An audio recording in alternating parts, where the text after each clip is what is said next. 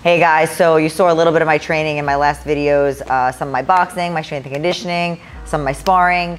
Well, the fight didn't happen. Unfortunately, um, I had two opponents fall through, and it's really frustrating. Um, you know, this has happened a bit in my career, but I try to stay focused. I try, I try to stay, you know, in the moment and just live for the day.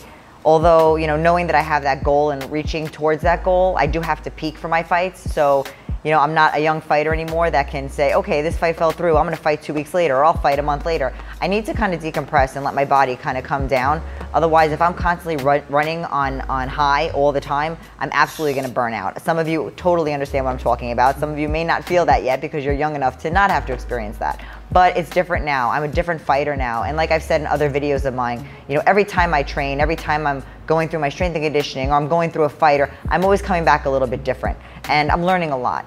So the things that I've learned throughout my career is how to really balance this time in my life where fights fall through, you know, what's next, keeping a positive attitude. Not everything in my life is perfect. I literally came here to film today and my car just died. I don't know if it's the alternator, I don't know if it's the, the, the starter or the, or the battery. So I'm sitting here and I'm like, great, another stress. I deal with family stuff. I'm the caretaker for my aunt, so I'm dealing a lot with her, with her financial stuff and all her stuff. You know, there's things that we all have, um, you know, going on, and some of you guys don't really see it through Instagram or Facebook or, or social media in general. And that's why, you know, you never judge a book by its cover. You really don't know what's going on in somebody's life. But the one thing that I really focus on is balance and also prayer. Um, my faith is huge. A lot of you know, a lot of you have followed me for a long time and know that my faith in the Lord is so strong. And I really would not be here today if it wasn't for Him. I wouldn't be boxing if it wasn't for Him. He brought me to boxing and has it has changed my life.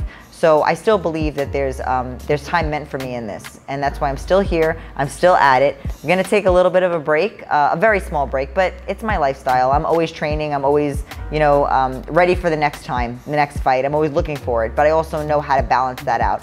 I just came back from a trip to Arizona. I got to visit my best friend who I haven't seen in five years. But while I was out there, some of you have followed me, I got to meet up with a strength and conditioning coach out there that has worked under Phil Daru so I got to go out there and work a little bit with him. I got my runs in.